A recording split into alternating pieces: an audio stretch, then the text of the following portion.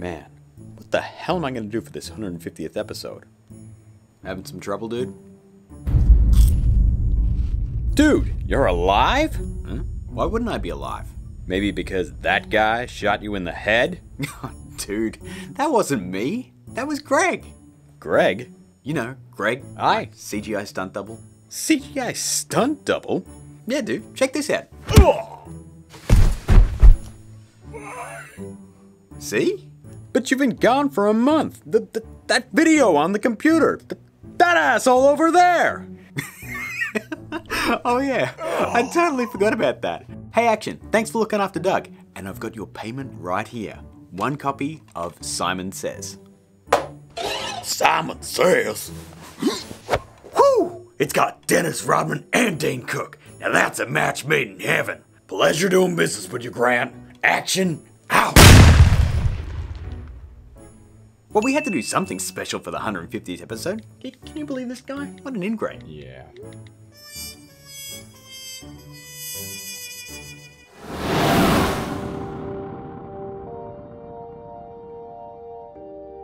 Hey guys, welcome to Film Learnin, the show dedicated to learning some filmmaking and learning good. Hard to believe, but I've said that 150 times. My God. Damn right, Lawrence, because that is no mean feat, and I want to thank every single one of you for watching the show and helping us get to that 150. So, as you guys have no doubt guessed, mainly because I told you in the vlog last week, that our 150th episode will be the first of a three part series on building your very own CGI stunt double. Now, why is it in three parts? Because it's not easy to do and it takes a long time, okay? Just telling it like it is, gang. Having said that, the first part is pretty easy, and that's building the model itself in Adobe Fuse. So if you haven't heard of Adobe Fuse, it's basically a 3D avatar maker that's in its beta testing now in your Creative Cloud subscription. It's intended for you to make the models and then take them into Photoshop and use them there, but there's another option for these models, and that's exporting them to a site called Mixamo and adding some sweet motion capture data right onto those models. So that's what we're going to be doing today. Now in order to complete your model, you'll need a copy of Creative Cloud and Adobe Fuse. So be sure and download it if you haven't. Secondly, I would recommend taking two pictures of the person you intend to make the double of. Firstly, a front facing photo, and secondly, a side facing photo. Uh, kinda like a mugshot. Hopefully in this case, it'll be better looking than that. Damn. Apart from that, you won't need anything else until we reach part 2, which will be covering retexturing that model, lighting, and maybe playing around with some facial expression animation. Finally, we'll composite the model into our shot using After Effects, and our journey will come to an end. So, how about we stop farting around and get this 150th episode started? Okay gang, here we are in Adobe Fuse. Now the first thing you'll see is these four bits of text right up here. Assemble, Customize, Clothing and Texture. These are the four steps of modeling within Fuse. Over here we have our controls. The first is our pan and zoom tool. This allows us to move around the model in a 2D perspective. The second is the rotate and zoom, and that allows us to, you guessed it, rotate around our character in 3D. And below that is the center camera button, just in case you get a bit too screwy with the controls above there, and it'll just bring it back to the original position. And the arrow tool here allows us to select different parts of our model individually. And the last icon allows us to edit the geometry of the model directly. So let's start assembling our character, and naturally we're going to start at the top of our head. As you can see over here, we have a bunch of different heads to select from, so let's try and find one that looks like my egg-headed mug. This one looks pretty good, and don't worry if it doesn't match 100% because what are we going to be doing? We're going to be customizing that model a lot more in the next stage.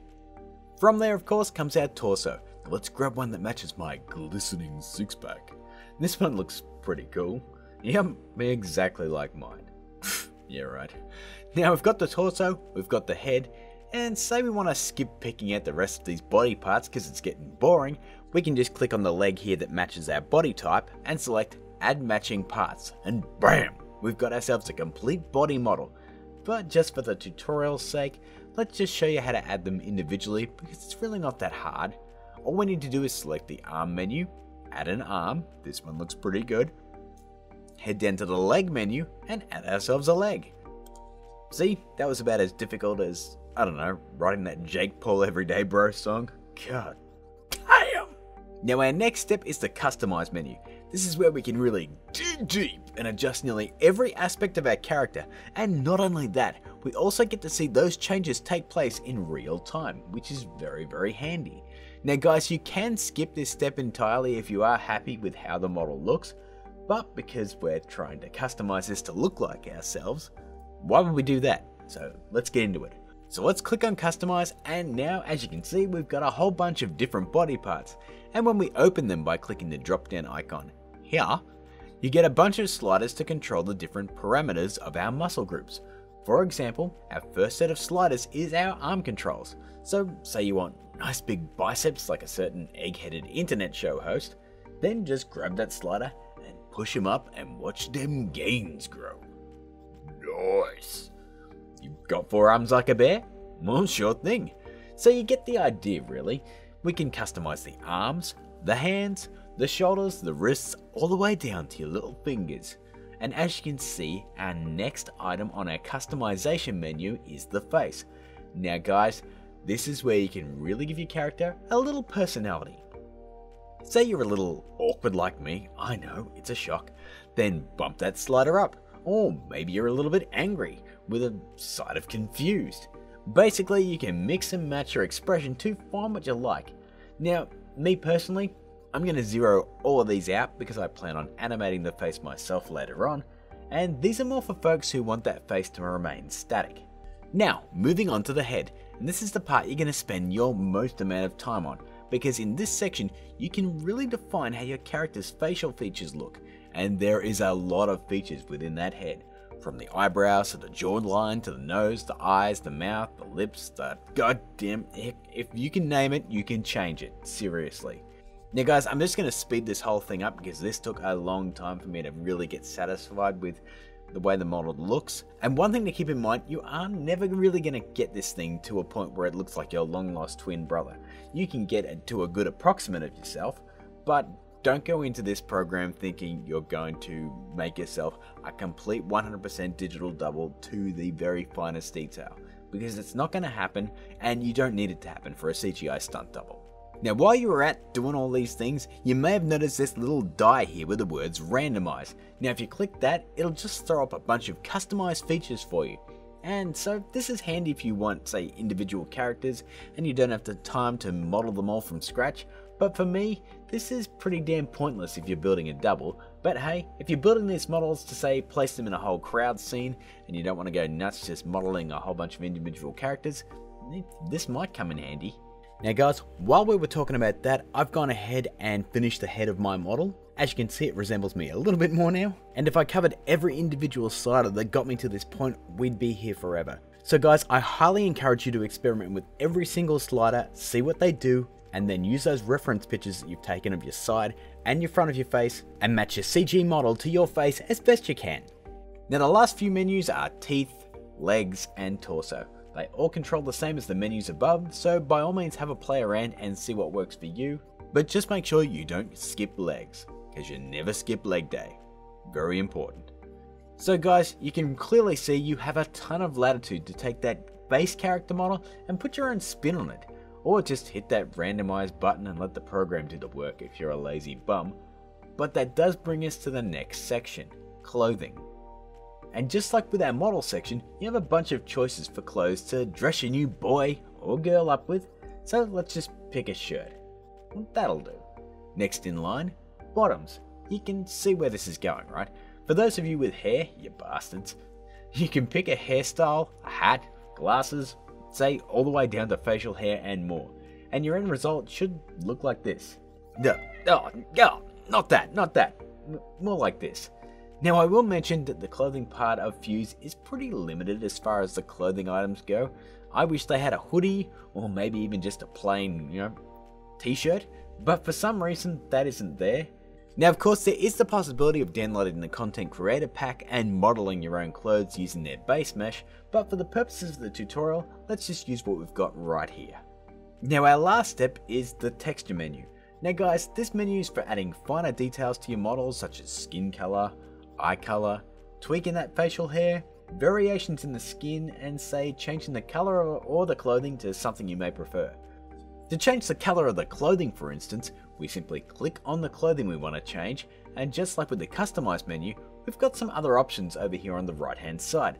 So as you can see, and I feel like I've said that how many different times, we have different parts of the leather jacket and we also have our shirt that's underneath the jacket. So let's click on the shirt underneath and change the color. And here's our color wheel. So I might just pick a green. See, it's as easy as that. To change say your eye color, all we have to do is click our face, head to the eye menu and click our iris color. The color wheel comes up once more and I think I'll make my eyes brown. All done. I'm going to go ahead and remove the hair and the facial hair from my model too. Just for posterity because I don't want anyone saying, There's hair on your model. There's no hair on your head. Now guys, there is loads more customization you can do here, so feel free to jump in and try them all out. Now before we export, we gotta do one final thing. We gotta turn up the resolution of all these textures. Because if we go up here and check it out, the skin is set to 512 by 512. So let's hit the drop down menu and crank that up as high as it can go. This will give us a much better looking model and a lot more wiggle room when we import it to Cinema 4D later.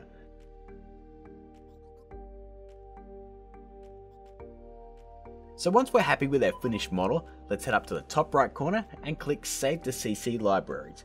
That way you can download and edit your model anywhere and anytime, or even export it into Photoshop and start animating there. But that's if you want to work with the model in Photoshop. Now since we want to add our motion capture data to the model, let's hit the other button that says Save to Mixamo.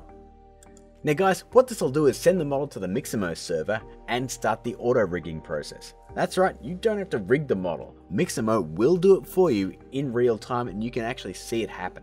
How cool is that? Now one thing I will mention about the auto rigging is that by default the face will not be rigged, so we need to hit this drop down menu and actually select that the face be rigged as well. That way it'll refresh the auto rig and your face will actually be rigged for animation later on. Now once all the auto rigging's done, Mixamo will open up and you will see a bunch of motion capture data that you can apply to your model all down this side.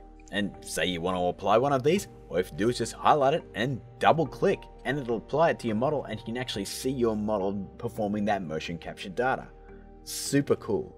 Now if you don't see anything that you like on this side, all you have to do is just scroll on up to the search bar and just click and you'll see a whole bunch of different genres. You've got combat, adventure, sport, dance, fantasy, superhero, business, and skinning test. But you can also just hit all and you'll be able to scroll through every single motion capture animation that they have here.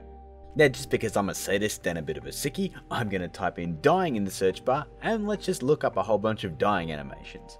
Ooh, I like this one here, so I'm just going to click it and I'm going to apply that one to my character. Oh, that looks pretty damn cool.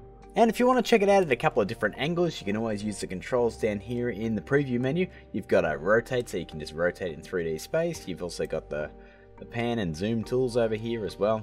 But since I am happy with the animation, I'm just going to head up here and hit add to my assets. From there, I'm going to head up to the top menu and hit my assets, head down and hit my animations, and you can now see that that motion capture data has been baked into our model and is ready for download. So all you have to do is just select it, make sure it's all ticked, and hit Queue download. This will bring up the download settings menu, and you want to hit the format is FBX. We want to make sure it's with skin, and let's hit that frames per second down to 24. And then all we're going to do is just hit the Queue download.